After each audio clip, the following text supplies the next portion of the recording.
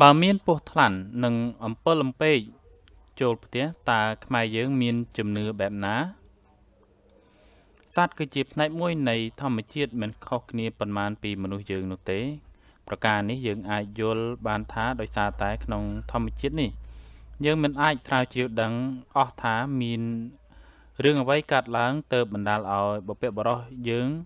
ពីមួយចំនួនមុនយក ប្រភេទសត្វមួយចំនួនភ្ជាប់ទៅនឹងរឿងរ៉ាវបែបអរូបីផ្សេងផ្សេងនិងខ្លះជាប់តាក់ទងទៅនឹងជំនឿសាសនារហូតវាបានคล้ายទៅជាជំនឿចាក់រឹសយ៉ាងជ្រៅនៅក្នុងផ្នត់គំនិតរបស់ប្រជាជនខ្មែរយើងនាពេលបច្ចុប្បន្ននេះក្នុងនោះមានដូចជាជំនឿលើពស់ថ្លាន់និងអំពិលអំពែកចូលផ្ទះជាដើមនេះបញ្យងតាមកម្រងឯកសារស្ ដីពីប្រពៃណីនិងទំនៀមទម្លាប់ខ្មែរដែលជាការរៀបរាប់ដោយលោកតាព្រឹទ្ធាចារ្យមាចប៉ុនបានបញ្ជាក់ថាពស់ថ្លាន់ចូលផ្ទះសត្វល្មូនទាំងពីរបែបនេះគឺជាធម្មជាតិមិនសូវចូលចិត្តមនុស្សម្នាឬមិនដែលរស់នៅក្នុងផ្ទះមនុស្សនោះទេ លើកលែងតែពស់សាំងសឿដែលវាចូលមកសងំនៅលំនៅឋាន មនុស្សម្ដងម្កាលដើម្បីចាប់សត្វកណ្ដោស៊ីជាអាហារពស់ដែលគេធ្លាប់ឃើញចូលផ្ទះដោយចៃដន្យនោះគឺពស់ព្រៃនិងពស់ថ្លាន់ពស់ទាំងពីរប្រភេទនេះមានចរិតស្លូតបូតមិនសាហាវដោយពស់អាសេរពឹសផ្សេងផ្សេងទៀតឡើយបើកាលណាវាចូលមកនៅក្នុងផ្ទះនោះចាប់ពីពេលដែលយើងបានឃើញវាមកនោះចាស់ចាស់បុរាណតែងកំណត់ថាវាមកឲ្យសុខសบาย ដល់យើងនោះទេ មិនបង្កនៅហានិភ័យអន្តរាយណាមួយឡើយកាលណាបើវាចូលមក គេត្រូវចាប់វាថ្នមថ្នមហើយបបោះអង្អែលលាបប្រេងលាបម្សៅរួចដុតធូបនិងនិយាយដូចនេះថាឯងចូលមកផ្ទះយើងនេះ សូមឯងនាំយកមកនៅលៀបសំណាងពោជ័យសេចក្តីសុខសេចក្តីចម្រើនសុភមង្គលដល់ក្រុមគ្រួសារយើង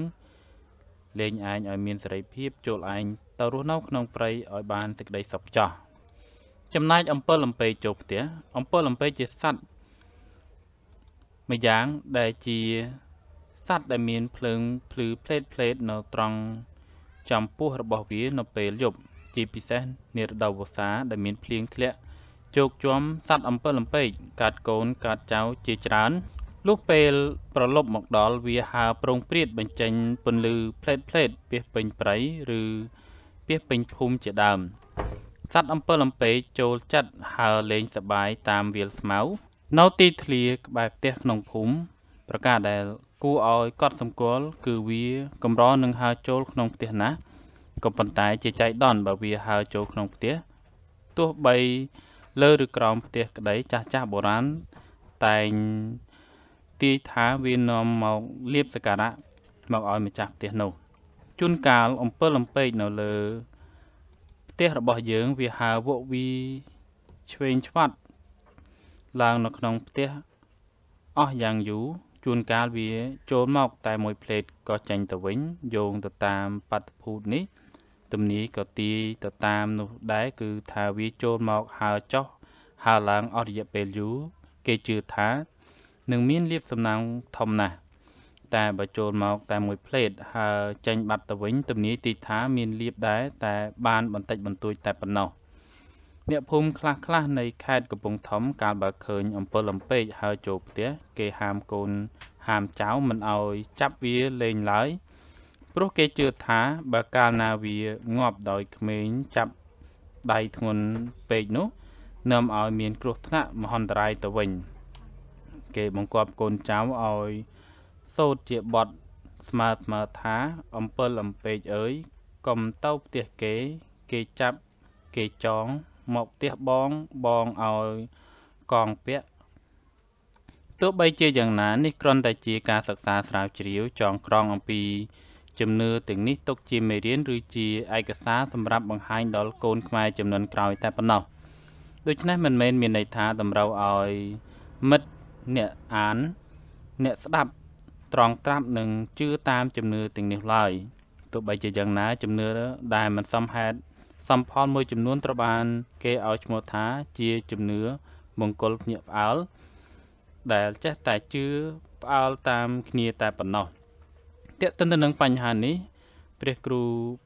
បញ្ញាវិសុទ្ធិវង្សខាវសារៈជាប្រធានកម្មវិធី សំឡេងព្រះធរអប់រំចិត្តតាមមេគាព្រះពុទ្ធសាសនានិងជាព្រះសង្ឃគង់នៅវត្តចាក់អង្រេលើ មានសង្ឃដីកាថា មង្គលភ្ញាក់ផ្អើលគឺជាបុគ្គលដែលមិនប្រកបទៅដោយសមាទិដ្ឋិនោះ ហើយការធ្វើអំពើអកុសលក៏អត់ប្រកបទៅដោយបញ្ញានោះដែរដែលនិយាយថា អត់ប្រកបដោយបញ្ញានោះទេ គឺអសទ្ធាដែលហៅថាអសទ្ធានោះគឺការជឿនោះមិនប្រកបដោយបញ្ញា ហើយមិនមានការជឿទៅលើកម្មនិងផលនោះទេ ហើយបុគ្គលនោះឯងមិនទាន់បានដល់នៅព្រះត្រៃសរណគមនោះទេ ហើយយកព្រះត្រៃសរណគមជាទីពឹងជាទីរលឹកគឺមិនយកមង្គលភ្ញាក់ផ្អើលនោះឡើយយកទៅប្រព្រឹត្តបប្រតិបត្តិនោះ បុគ្គលខ្លះជឿទៅលើដើមចេកដែលដុះមកច្រងេងច្រងាងជឿទៅលើជ្រូកជើង5ជឿទៅលើគោចេញមកក្បាល2ហើយយកធ្វើជាសក្ការៈបូជាយកវត្ថុនោះជាទីពឹងទីរលឹករបស់គេហើយយកមកធ្វើពិធីបួងសួង ធ្វើពិធីបួងសួងសុំសេចក្តីសុខក៏ប៉ុន្តែគេជឿទៅលើមង្គល គឺឲ្យតែចាញ់ពន្លឺព្រះអាទិត្យមកគឺគេថាមង្គលរបស់គេហើយមិនចាំបាច់អុជធូបអុជទៀននោះឡើយគឺជាសទ្ធារបស់គេប្រកបទៅដោយបញ្ញាឬក៏មិនបាច់ទៅយកការបួងសួង ការទៅយកវត្ថុអ្វីជាទីពឹងនោះទេទ្រឹស្ដីព្រះពុទ្ធសាសនាគឺគេជឿទៅលើកម្មនិងផល បើគេធ្វើអំពើល្អវាបានផលល្អហើយ ធ្វើអំពើអាក្រក់ក៏បានផលអាក្រក់វិញផងដែរស្ថិតក្នុងព្រះតី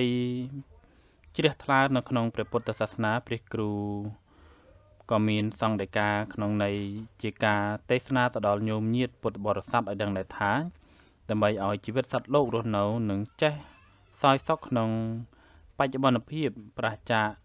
ឆ្ងាយពីការពឹងនៅជំនឿនិងកម្លាំងខាងក្រៅខ្លួនខ្លាំងពេកយើងត្រូវតែបំពេញនៅអធិបាទធរគឺជាធរដែលនាំសុខទាំងក្នុងបច្ចុប្បន្នទាំងបរលោក ទីមួយយើងមានឆន្ទៈឆន្ទៈនោះគឺពោពេញទៅដោយការសាងកុសល ពេញចិត្តក្នុងការធ្វើកិច្ចការងារមិនថាការងារតូចឬការងារធំ ទី2 វិរិយៈគឺការព្យាយាមគឺយើងត្រូវមានការព្យាយាម សិក្សាស្វែងយល់ទាំងផ្លូវលោកនិងផ្លូវធម៌រួមទាំងព្យាយាមកុំឲ្យចិត្តបាបចូលទៅក្នុងខ្លួន ព្រោះគឺជាប្រធានគ្រប់គ្រងចិត្តបានល្អក្តីមិនបានល្អក្តី គឺញ៉ាំងជីវិតរបស់យើងឲ្យទៅនរកឬឋានសួគ៌នោះឯង